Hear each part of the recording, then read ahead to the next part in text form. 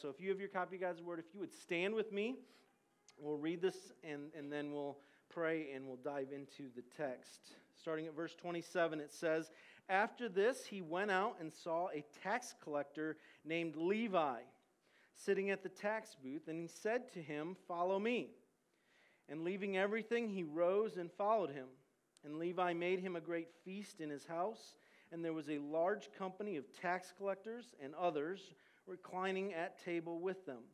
And the Pharisees and their scribes grumbled at his disciples, saying, Why do you eat with tax uh, and drink with tax collectors and sinners?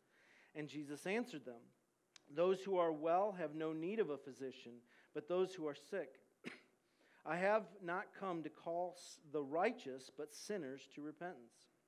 And they said to him, The disciples of John fast often, and others and offer prayers, and so do the disciples of the Pharisees, but yours eat and drink. And Jesus said to them, Can you make wedding guests fast while the bridegroom is with them? The days will come when the bridegroom is taken away from them, and then they will fast in those days. He also told them a parable. No one tears a piece from a new garment and puts it on an old garment. If he does, he will tear the new one, and the piece from the new will not match the old. And no one puts new wine into old wineskins. If he does, the new wine will burst the skins and it will be spilled, and the skins will be destroyed. But new wine must be put into fresh wineskins. And no one, after drinking old wine, desires new, for he says, The old is good. Let's pray.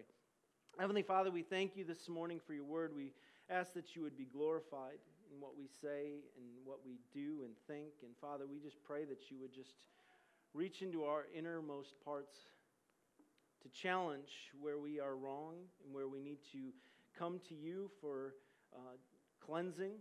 And Lord, I pray that you would just uh, direct our hearts and our minds and our thoughts to you this morning.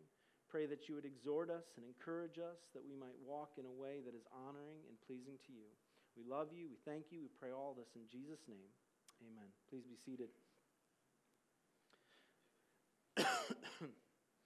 Verse 27 starts with our text, and it says, After this, uh, after this being the healing, if you remember last week, the healing and the scene of the paralytic being lowered through the, through the ceiling. It says, After this, so uh, after, after that scene, he went out and saw a tax collector named Levi sitting at the tax booth, and he said to him, Follow me. It says he went out. Uh, Matthew and Mark actually say, As he was passing by. Uh, almost makes it sound like it's a random encounter, but we need to keep in mind that Jesus never does something casually or unintentionally, it's always purposeful. Jesus knew Matthew was there. He was heading on his way, and it may be that on his way to the next place, but he purposely, you, you see that in John chapter 4. It says that he uh, is going uh, by way of Samaria, and he says he needed to do it because there was a woman there that he needed to proclaim. Jesus never does things unintentionally. But it tells us that he saw a tax collector. You know, we don't like necessarily tax collectors today. You know, I don't know too many people that do that are really fond of them. And if you're a tax collector, um, I'm sorry. Uh, uh, but tax collectors, they were the lowest of the low. They were also called, some translations will say publican. It's interesting that later in the text, it's going to say that, that he threw a, a, a, party for tax collectors and others. In some, in some of the gospel accounts in Matthew, Mark, it says, and sinners. It's interesting to me that tax collectors have their own category. They don't even fit with the sinners. That's how low they are. Okay? You, you cannot underestimate the severity of, of what they are in this day and in this culture. Pharisees would often pray and they'd thank God and say, I thank you, God, that I'm not a tax collector. Luke tells us an account of this as Jesus tells a parable in Luke 18 11. In Israel, you were not allowed to let your daughter marry a tax collector. They couldn't testify in a court of law because they were not considered trustworthy or honest. In fact, there's a story uh, in, in one of the, in, I don't remember if it was Josephus or somebody, uh, records a statue of an honest tax collector. And the reason it was so remarkable that they made a statue was because he was honest. I mean, that's how they viewed these people. Jesus understands their treatment, and later on in Matthew chapter 18, he's going to use their treatment as a means of an illustration for them that when you go to seek forgiveness, when you go to make something right with a brother, it says after you've done all the process, if they still won't be reconciled, you treat them like a tax collector. I mean, that's the, the, the, the depth here that you have to understand. And to be a tax collector really meant two things in the Jewish uh, culture. Number one, they were a traitor because they were collaborating with the enemy, with Rome. They had the authority of the Roman government to, to collect taxes, and, and this was, uh, they were, because of that, they were shunned by the Jewish people. Not only were they shunned, but their family was shunned. Not just a traitor, but they were also viewed as a thief, a liar, an extortioner. Because whatever tax they collected, they collected a certain amount that they were obligated to give to Rome, and their profit, whatever they made above that, was what they got to keep. That was their salary. So oftentimes they would try and figure out a way to charge as much as they could, and the result was extorting for profit. Rabbinical law said that you should never trust a tax collector. That's Matthew. Okay, Levi uh, is his name here, um, but he also has another name. Matthew tells us his, the name of this guy is Matthew, and I think we should trust Matthew that, that he's not just making up a name because he's writing the book about himself. Uh, Mark tells us he's the son of Alphaeus. But at some point in Matthew's life, you know, some people say because his name was Levi, he was probably uh, uh, of the Levitical family. And so he was probably raised in the law. In fact, Matthew's uh, gospel has more recorded uh, uh, scriptures from the Old Testament than any of the other gospel accounts. So Matthew probably was raised up to be a, a priest.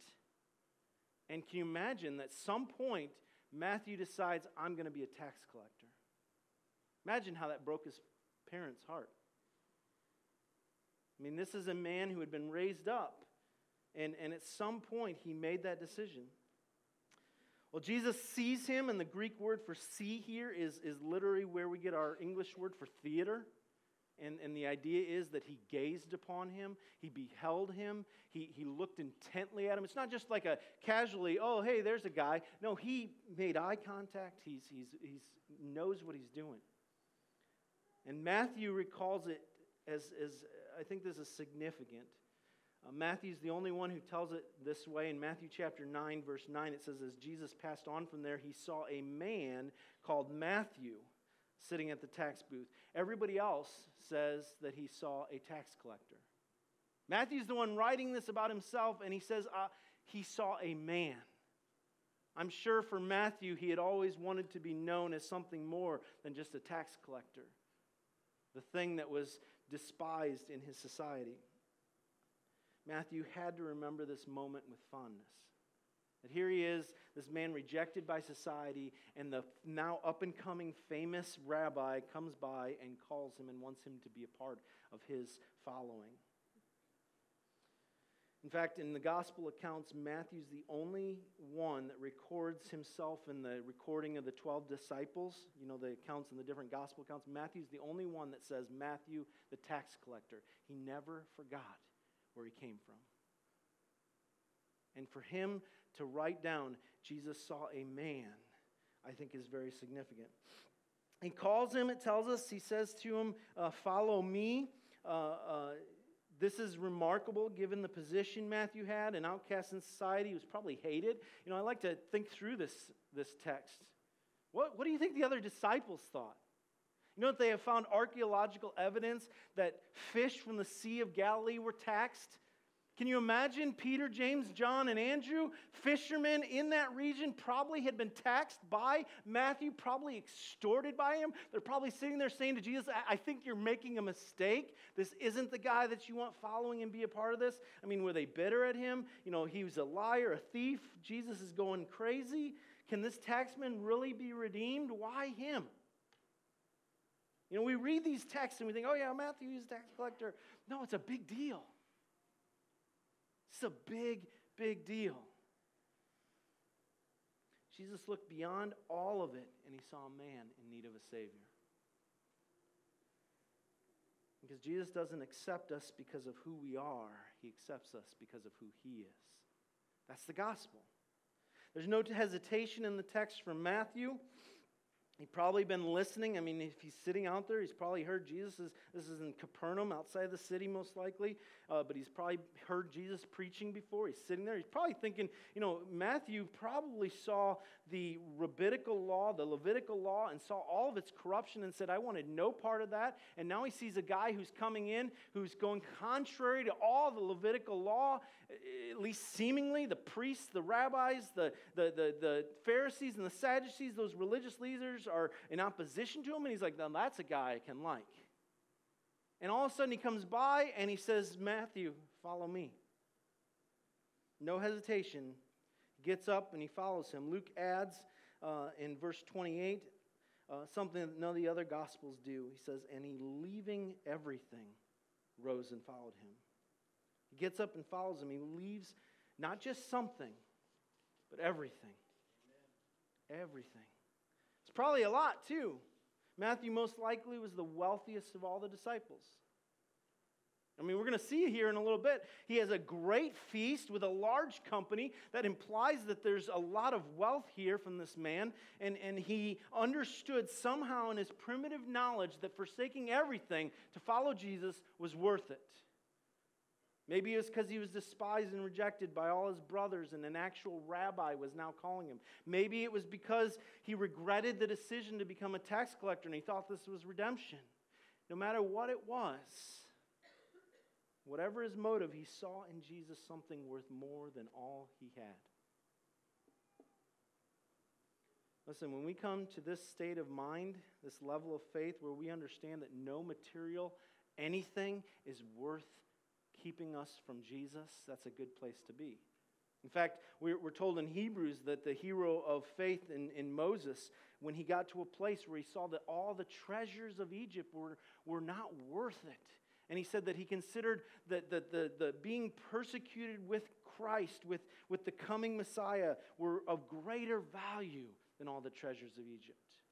That's a good place to be. Note, though, that Jesus called, but Matthew still had to obey and sacrifice. His obedience changed the trajectory of his life, and his sacrifice ended up not really being a sacrifice but a gain.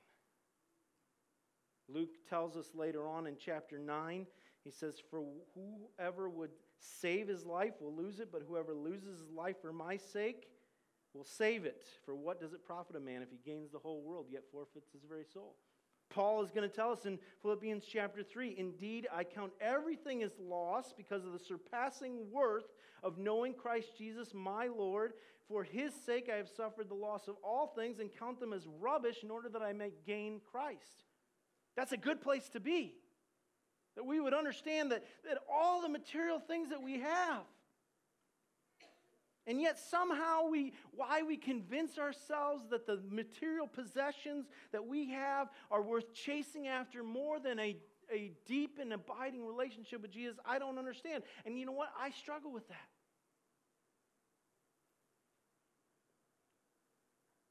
Until we come to this right place, what an amazing place it is. The text goes on in verse 29. It tells us, And Levi made him a great feast in his house and there was a large company of tax collectors and others reclining at table with them. So, so Levi, aka Matthew, here throws this great feast. Uh, it, again, indicates his wealth. It's a large company, a great feast, not just a, a, a snack, but it's a large, great feast. Uh, you know, did he, did he throw this large feast because he wanted to invite all of his tax collector buddies and introduce them to Jesus? Maybe. You know, think about it. When, when, when a person comes to know Christ, how they want everyone to know. Especially somebody who understood that Jesus was worth giving up everything for. That type of mindset says, I want everybody to know this Jesus. Regardless, he throws this feast. It's a large company. Tells us tax collectors and others. The, the Greek word others there is allos, which means others of the same kind. So it's, it's men of ill repute. uh, what classifies them as Matthew and, and, and Mark tell us as sinners. I'm not entirely sure. That, that, you know, who were Matthew's friends? He didn't have a lot of friends, most likely, or, or, or maybe they, the, you know, his friends just weren't the, the type that, that people would hang out with, but it tells us he was reclining at table with them. Matthew tells us that the disciples are there with him, so it's not just Jesus. This is fellowship, this is relationship, this is significant. Again, what did the other disciples think as they're sitting around that table with Jesus? All their life, they'd been taught to despise tax collectors. All their life, they'd been taught that these men were, were, were despicable, traitorous, liars, and thieves, and we shouldn't be around them. We shouldn't talk to them. We're taught from a young age that that's a tax collector. You don't talk to him. That's a tax collector. He's, he's given himself to the other country that's oppressing us. And what are they thinking as they're sitting there? They must have thought Jesus doesn't understand who these guys are. He's getting it all wrong. Verse 30 tells us that the Pharisees figure out about it. It says, And the Pharisees and their scribes grumbled at his disciples, saying, Why do you eat and drink with tax collectors and sinners? So Pharisees somehow get wind of it because there's no way they would have been there. They would never have been seen in that place with them. You know, is it the next day? Is it, is it that they heard about it and then they took a stroll down by Matthew's house? I mean, to associate with a tax collector they viewed as wrong. To eat with one would have been re- reprehensible. Because to eat with somebody in that culture of hospitality is to become one with them. When you break bread with someone, you literally are, are, are, are becoming one with them, is the idea. And no good law abiding Jew would ever think of doing so. So, so somehow, you know, Matthew and Mark tell us that they saw it. You know, did they walk by and, you know, because they got wind of it and they walked by and they saw, they looked in the window? I don't know, but either way, they, they hear about it um, and they're going to voice their objection. And this isn't an interesting objection, brothers and sisters. This is, this is significant to me. They show their cowardice by going to the disciples and not Jesus. They're going to voice their objection with, G- or with the disciples instead of going directly to Jesus. How often do Christians do that? They have a problem with someone, and instead of going to that person, we're going to go to somebody else. You know what that's called? Gossip. And it is evil, and it's extremely destructive to the church. Scriptures have so much. I was, I was talking to my wife about this, and we were just listing out verse after verse after verse that, that this addresses. You know, we think it's such a minor thing that we don't, we, you know, we minimize it. But the reality is, James tells us that our tongue is a flaming fire.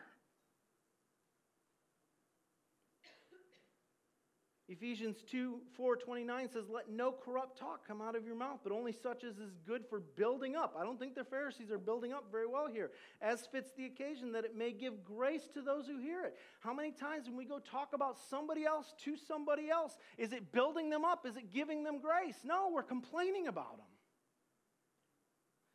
James 1:26 says if anyone thinks he is religious and does not bridle his tongue, he deceives deceives his heart. This person's religion is worthless. Do you, do you get the gist here? This is pretty significant. Matthew 12, 36 says, I tell you, this is the words of Jesus. On the day of judgment, people will give account for every careless word they speak. That should give us pause. Listen, when someone comes to you to complain about somebody else, you know what you need to do? Tell them to stop and go talk to that person. That's what Matthew 18 tells us. That's what the Word of God tells us. You listen, and, and I, I'm telling you this, I struggle with some of this myself. Venting, I'm just venting to someone. That's sin. There's no way around it. It's sin because you are not speaking uh, uh, words of, of building someone up. And whenever you listen to gossip, you're sinning. You can't minimize it. Brothers and sisters, this is so important. With many words, Proverbs tells us there is never a lack of sin. Their complaint, they, they, come, they grumble, it tells us, against uh, to the disciples, at his disciples about Jesus. Uh, Luke says, Why do you, Matthew Mark say, Why does he? Uh, regardless of who uh, their true complaint was always only about Jesus. This famous rabbi, he's becoming popular, he's challenging their authority, and their complaint isn't about the disciples specifically, but it's about Jesus in an indirect way. And we do that sometimes, don't we? We're going to go and complain about somebody, and, and we give off a spiritual tone to it. Regardless of who, their true complaint, Jesus. He wasn't following their traditions and rules. Why does he eat with tax collectors and sinners? They obviously disapprove of his choice of company. It's guilt by association. Brothers and sisters, here's an incredible uh, uh, application for us. Jesus is never afraid of your contamination of sin. He's never afraid to be with us. You can never be so horrible that Jesus will not come and be with you if you call him.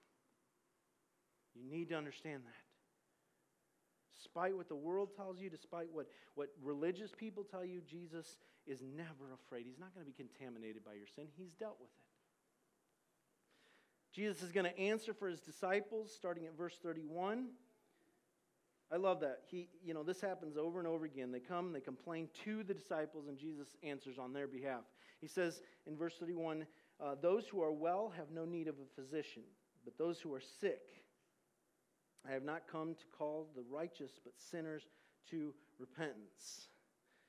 Those, he says, the healthy, they don't need a doctor. The sick, they need the doctor. I find it interesting. Jesus does not dispute their claim against him. He's like, You're right. I'm eating with tax collectors and sinners. There's no dispute about it. He's essentially saying, You've misdiagnosed the problem here. The problem isn't that I'm eating with tax collectors and sinners. The problem is, I came to call the sinners not the righteous. You know, so Jesus essentially is saying, I didn't come to hang out with righteous people and religious people. I came, and, and, and note two, because I think we'll get to this later, he, he also didn't come, by the way, just to hang out with sinners. People, people can twist this and say, well, this is my call. I'm supposed to, I'm not supposed to hang out with church people. I'm supposed to hang out with sinners. That's not what the text is saying. He says, I came to call sinners what? To repentance. Listen, brothers and sisters, if your Bible doesn't say to repentance there, you can probably stop reading that Bible and get a different one. Because while he does say, come as you are, he will say that all the time. He never says, stay where you are or stay how you are. The reality is, Jesus' gospel message is always stop sinning. Come to me, I forgive you, I cleanse you. Now change, transformed by the power of my gospel to repentance. He goes on, you know, as, as many people talk about the importance of not just being with Christians all the time. I mentioned this, but, but there's truth to this. The purpose isn't to hang out with them, to call them to repentance.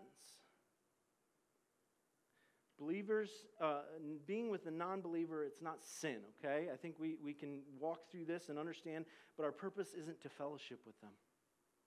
That's a hard one. Paul clearly tells us what fellowship has light with darkness. We are called to the world to bring them to Christ, not to fellowship with them and to hang out with them. It's to bring them to the gospel. They are sick with a terminal disease, and we have the great physician living within us who we need to take to them. That's our purpose.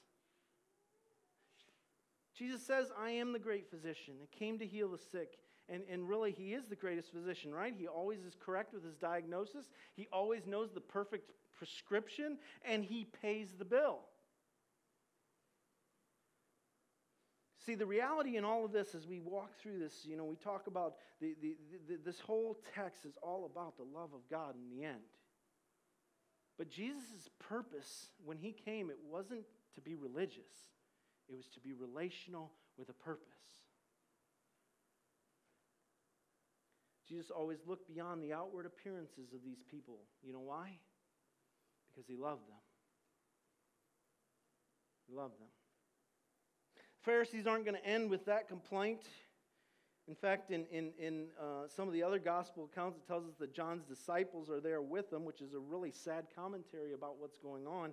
But it says, They said to him, meaning the, the, the disciples of John as well as the scribes of the Pharisees, uh, the disciples of John fast often and offer prayers, and so do the disciples of the Pharisees, but yours eat and drink.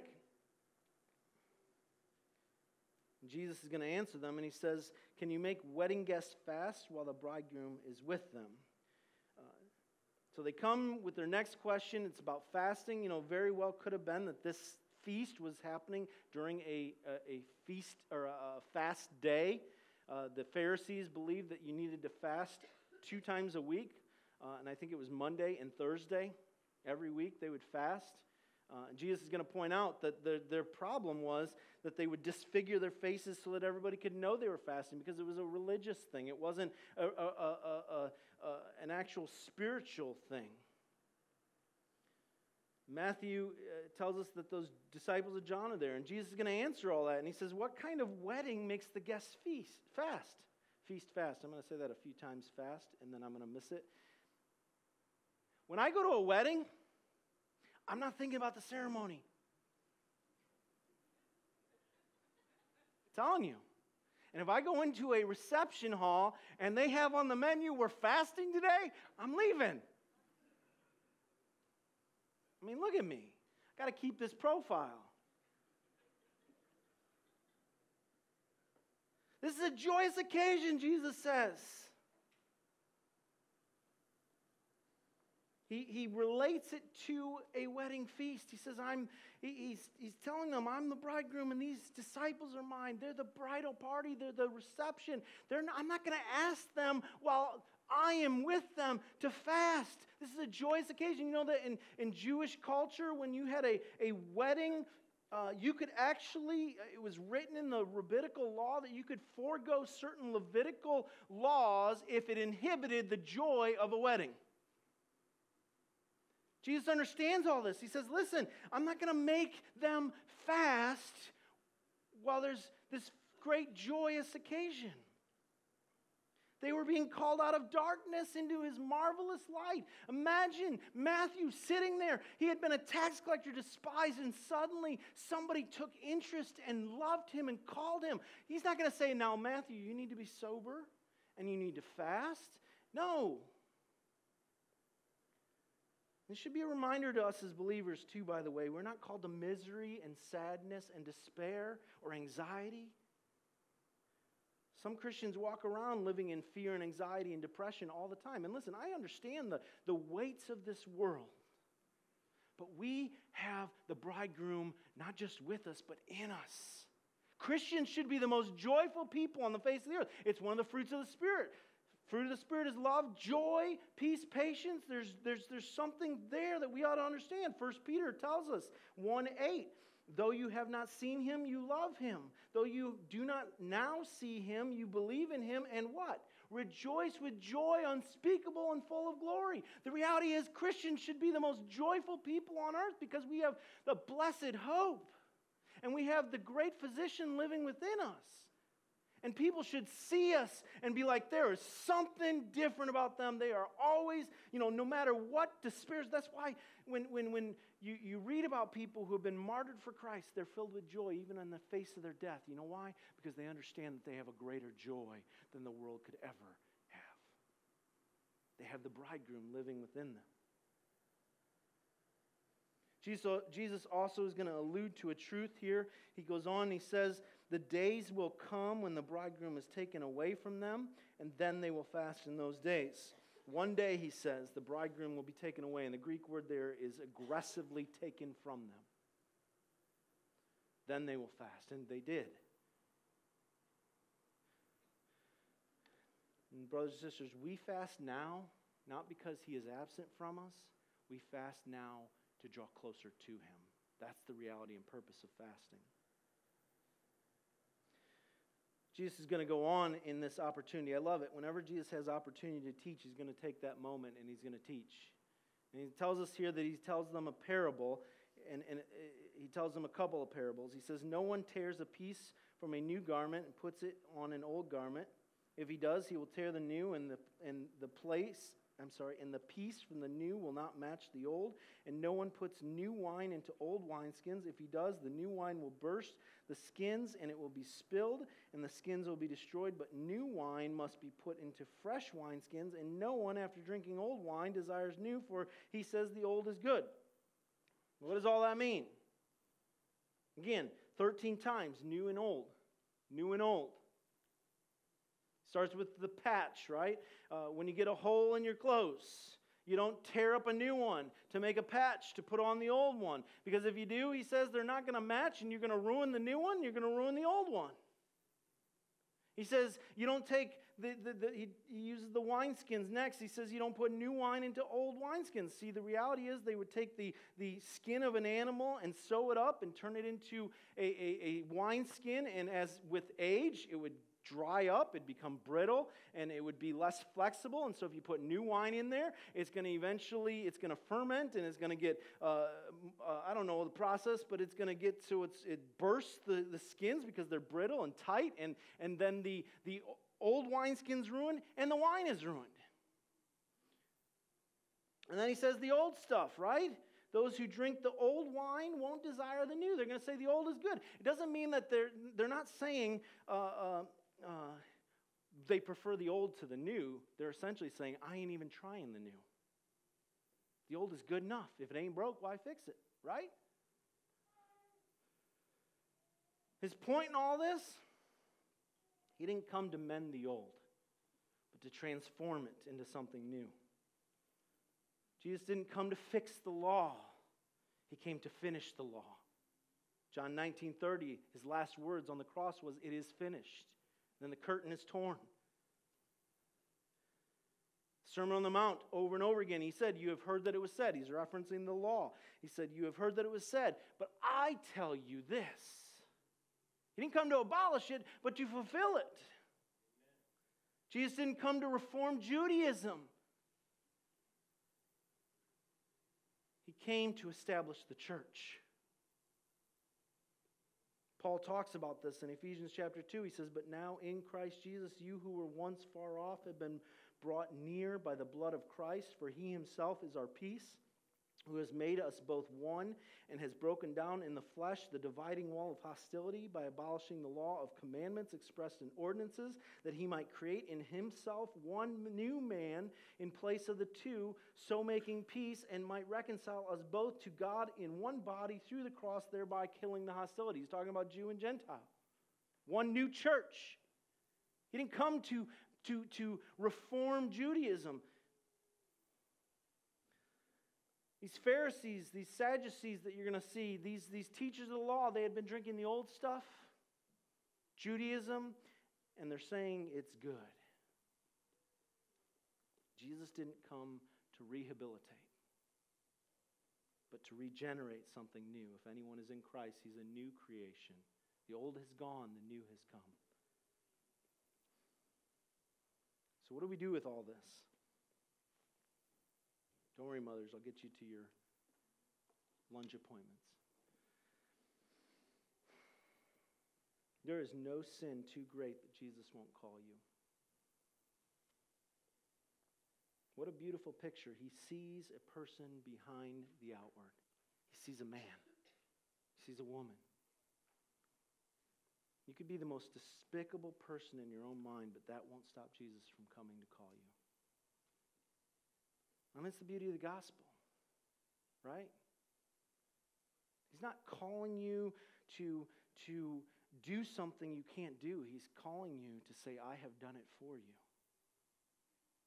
The beauty of the gospel is that Jesus came, he lived a perfect and holy life, that even though you might be the lowest of low, that you might have an esteem of yourself that is so uh, pathetic that you could say, and I've had people tell me this. I, I, remember when I worked in the factory, I had a person come up to me as they knew, they knew I was, I was uh, studying to be a pastor. They knew that that was my heart's desire, and, and it created two, one of two things. Either people came to me all the time to, for counsel. I'm not even done, I haven't gone through counseling classes yet, okay? But they would come to me because, you know, as a Christian, as a pastor, that's where you get advice sometimes, right? Or they despise me. But they knew that if they worked with me, they were stuck there for eight hours, they were going to hear the gospel because that's what my heart was. And, and, and there was one guy, I shared the gospel with him uh, probably for a week straight. And it was an amazing thing. And, and we got to the end, and I felt like it was almost that, that, that uh, King Agrippa moment where he says, You know, almost you've convinced me. Uh, and, and he said, You know what? The problem is, though, I've done so many bad things that Jesus could never accept me. I've had people tell me that. And I'm like, How, how highly do you think of yourself that you think you are beyond the holy God, creator of the universe's power to forgive the reality is, it doesn't matter what you've done. You could be Hitler yourself, and Jesus has died for sins, and that's a hard thing to comprehend. But the reality is, he died for all mankind. And he offers himself freely. The wages of sin is death, but the gift of God is eternal life through Jesus Christ our Lord. And Paul clearly lays out for us in Romans 10 that if you confess with your mouth that Jesus is Lord, you believe in your heart that God raised him from the dead. It doesn't say, and you were a good person. No, it doesn't.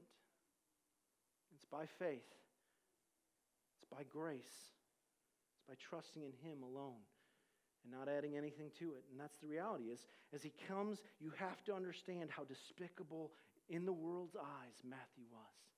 And Jesus saw a man and he said, Come, follow me. And he offers that to anyone who hears this message today. Come, follow me. Don't walk away thinking you can't be redeemed. And what about the rest of us?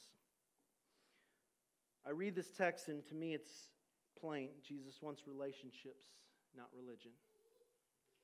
His ministry throughout his life, his three years of ministry, is never about perfecting religion, it's always about relationships.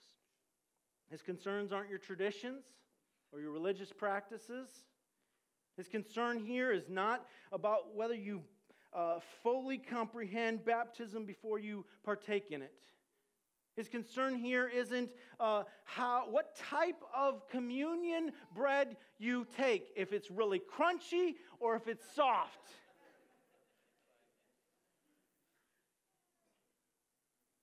He doesn't care what has always been. Well, it's always been that way. The church finds all kinds of things to fight about through its history. We fought about not having musical instruments, then we fought about having specific musical instruments, and now we fight about something else. It just is a never ending cycle because Jesus doesn't care about any of that. He cares about our hearts.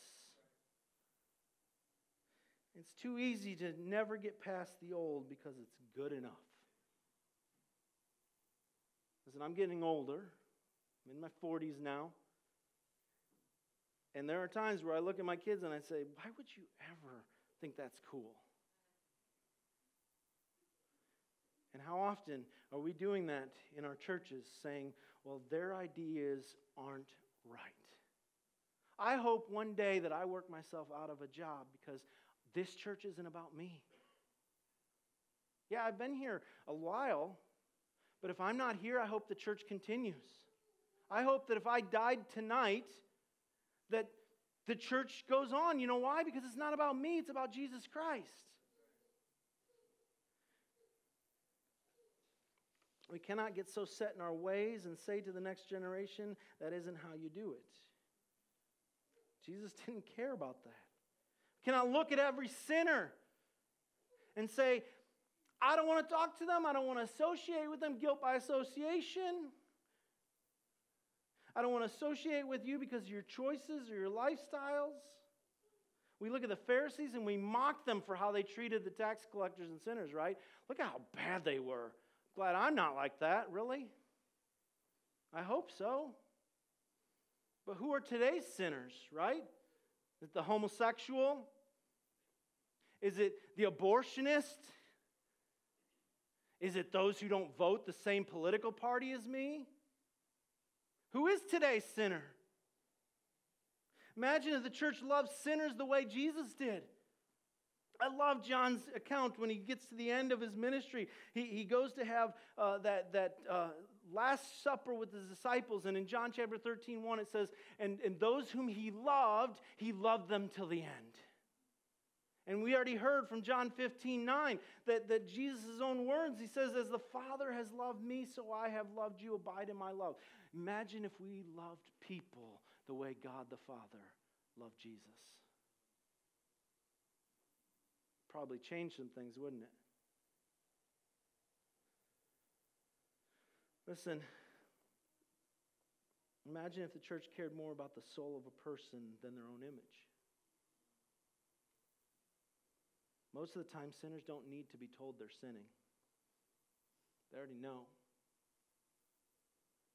They need to be shown the love of Jesus and that through him is the forgiveness of sins. Wonder how many tax how many sinners today are sitting by their tax booths right now waiting for someone to see them as a man or a woman as opposed to just a sinner. You know that if you talk to the homosexual community, the vast majority of them say they want nothing to do with the church because of how the church has treated them. It's a sad, sad commentary. And I'm not saying this church, I'm saying universal. This doesn't mean we don't call sin a sin. We don't just ignore it. Jesus says you call them to repentance. You call them to repentance. Problem is, so many don't even have an audience to call anyone to repentance because we've wasted it away by acting Pharisaical. I love, Mark adds a, a, a verse that's not in uh, Luke's account in when Jesus is talking to those Pharisees. They come to him and they say, Why do you, why do you eat with tax collectors and sinners? And, and Jesus is going to say the same thing. He says, I have not come to call the righteous uh, to repentance, but sinners to repentance. And he also adds something in his text. He says, Go and learn what this means. You know what he says? I desire mercy, not sacrifice. You know what that means? It means that Jesus desires a heart over the law. Because he's the sacrifice.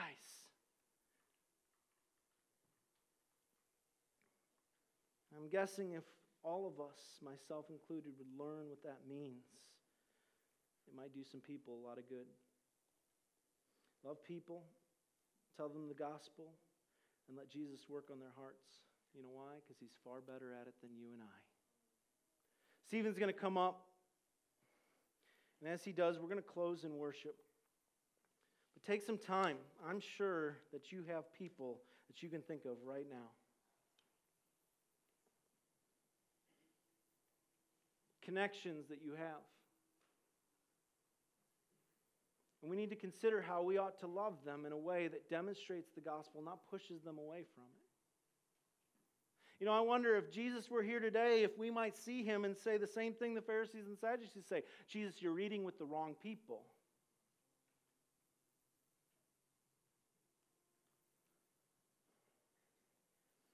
I've not come to call the righteous, but sinners to repentance.